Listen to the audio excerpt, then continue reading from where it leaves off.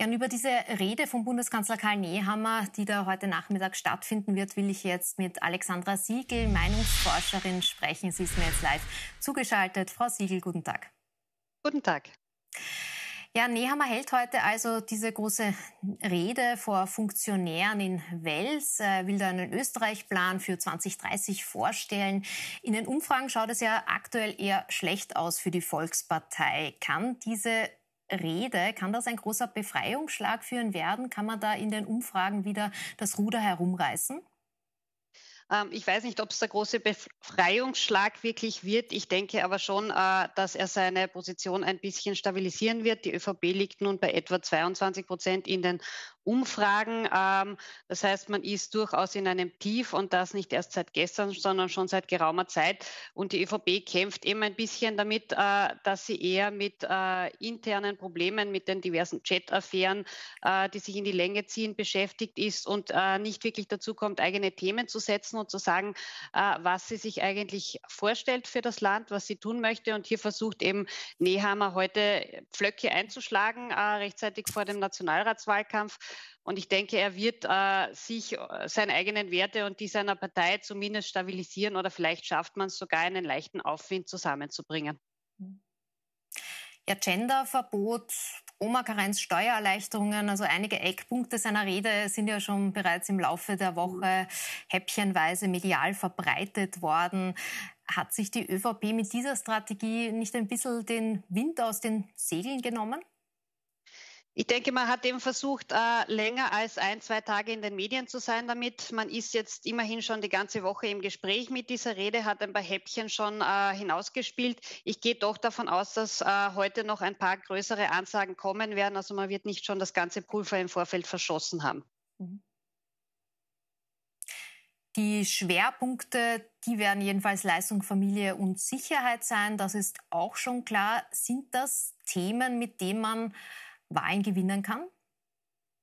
Ähm, es sind jedenfalls originäre ÖVP-Themen. Also das große Thema, das derzeit alles überdeckt, ist die Teuerung. Da hat die Regierung ja ihre Maßnahmen äh, gesetzt. Ähm, aber die ÖVP versucht nun eben im Wahlkampf sich als Partei zu positionieren. Und da wählt man natürlich Themen aus, die zur Partei passen, die der eigenen Wählerschaft wichtig sind. Da gehe ich davon aus, dass die ÖVP das auch erhoben haben wird, äh, was der eigenen Wählerschaft wichtig ist.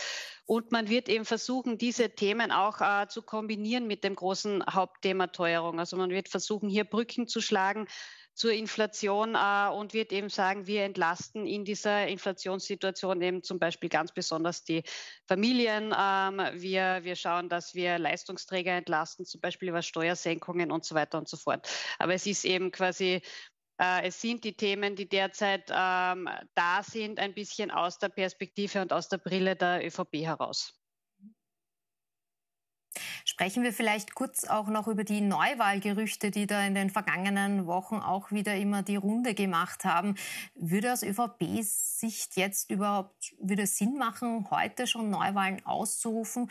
Bevor diese Themen, die Nehammer ja in seiner Rede ansprechen will, überhaupt in der Bevölkerung angekommen sind und auch gehört werden und sich in Umfragen niederschlagen? Ähm, wenn Nehammer heute Neuwahlen verkünden würde, würde es ja ohnehin noch eine Zeit lang brauchen, bis diese tatsächlich stattfinden. Wir haben ja hier einen Vorlauf von etwa drei Monaten. In dieser Zeit könnte man sich natürlich in einem äh, Wahlkampf positionieren mit diesen Themen. Es geht ja nicht mehr darum, dass die Regierung diese Themen jetzt noch umsetzen möchte kurz vor der Wahl, sondern es geht darum, eben äh, zu zeigen, wofür man steht. Grundsätzlich spricht aus ÖVP-Sicht einiges für und einiges gegen Neuwahlen. Also dafür spricht, ähm, dass man eben keine Wahlschlappe der EU-Wahl äh, mitnehmen will äh, in Richtung Nationalratswahlkampf. Dafür spricht auch, dass man zum Beispiel den U-Ausschuss äh, abdrehen könnte, im Prinzip bevor er begonnen hat. Der würde der ÖVP natürlich auch weiter schaden. Da werden ja wieder die ÖVP-Affären ähm, gewälzt im Prinzip. Äh, dagegen spricht natürlich, dass äh, man derzeit in Umfragen sehr schlecht liegt. Ähm, da besteht natürlich das Prinzip Hoffnung, dass sich das noch drehen könnte, möglicherweise bis in den Herbst hinein, dass die FPÖ noch schwächer werden könnte.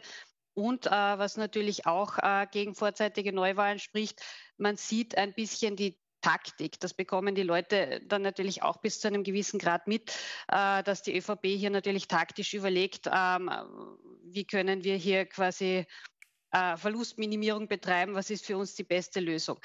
Das heißt, ähm, es spricht viel dafür, es spricht viel dagegen. Letztendlich äh, wird man eben eine Entscheidung treffen und, und sich überlegen, was ist denn hier wichtiger für die Partei. Gut, eine Abwägungsfrage. Einiges spricht für, aber auch vieles äh, gegen dieses mhm. vorzeitige Ausrufen von Neuwahlen. Schauen wir vielleicht noch auf die aktuelle Frage der Woche, die Sie auch diese Woche für uns äh, und äh, von Peter Hayek, seinem Institut, eben abgefragt haben. Da ging es darum, welche, ähm, welcher ÖVP-Politiker denn eine potenziell schwarz geführte Bundesregierung anführen sollte. Zur Auswahl standen da Bundeskanzler Nehammer natürlich, aber auch Finanzminister Brunner, Verfassungsministerin Edstadler und auch Wirtschaftskammerpräsident Harald Mara. Frau Siegel, äh, was hat denn diese Umfrage ergeben? Wir sehen es hier eh auch schon eingeblendet. Äh, Gab es da überraschende Ergebnisse? Naja, was man hier sieht, ist, dass Karl Nehammer eben keinen äh, dezidierten Kanzlerbonus hat. Das heißt, er strahlt jetzt nicht äh, wahnsinnig stark über die Werte seiner Partei hinaus. Er strahlt auch nicht in andere Wählergruppen sonderlich gut hinein.